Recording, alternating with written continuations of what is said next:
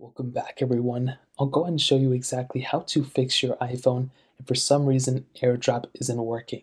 Now, as most of you know, AirDrop is the wireless transfer method between an iPhone and other Apple products. You can easily send whatever, you guys already know this.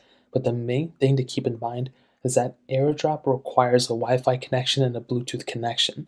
So if you're not able to see any of your Bluetooth or Wi-Fi connections on this device or other devices, you want to make sure those things are enabled within the settings app in order for you to actually utilize it.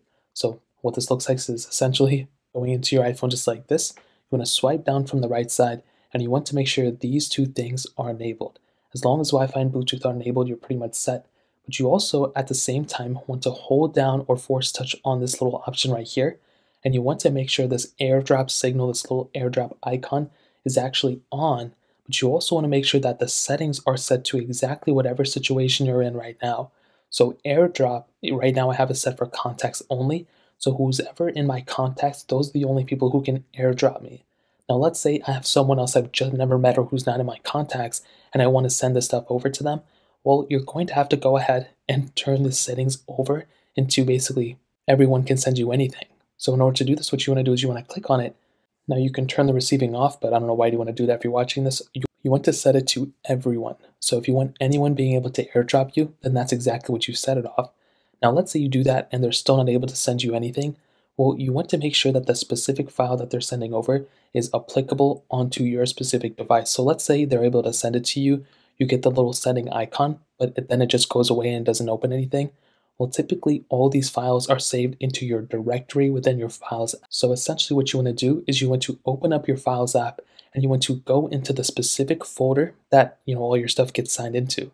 So essentially, sometimes it's your downloads folder or whatever. So if they're sending you a file that's maybe like a Photoshop file or something like that, those are going to be sent into your Files app. So you want to go into your Files app, locate that specific file in your Files app, and then you'll essentially be able to see it from there. So there's not really a crazy amount of stuff you can do at that point.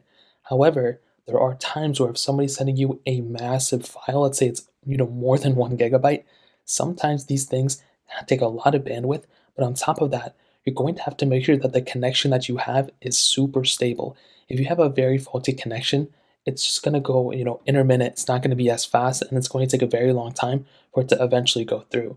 So what you want to do is make sure that the file that they're sending you, you know, if it's a big file, that you have a solid connection. It may take more than one attempt, but typically at this point, you should be good to go. If your AirDrop is still not working, I would recommend updating your iPhone. So go into your settings app, you want to go down to general, you want to click software update, and you want to update your device to the most recent version of software that your device supports. If you're on a very outdated version of, you know, iOS, then sometimes your device isn't going to work for AirDrop. So you want to make sure you're up to date and you should be good to go for the most part. If you're still having issues, contact Apple and they'll be able to fix it for you. So that's essentially it. If you guys have any other questions or anything like that, let me know in the comment section below. Hit the like button, that would mean so much, but definitely hit that subscribe button. Every single subscriber that we get really does count. So it'd be so much if you guys can hit that. Also check out the other links down in the description as well. My Twitter, my Instagram, my other channels. More importantly everything else, I love every single one of you guys. Hopefully I'll catch you guys in the next video. Peace out till then.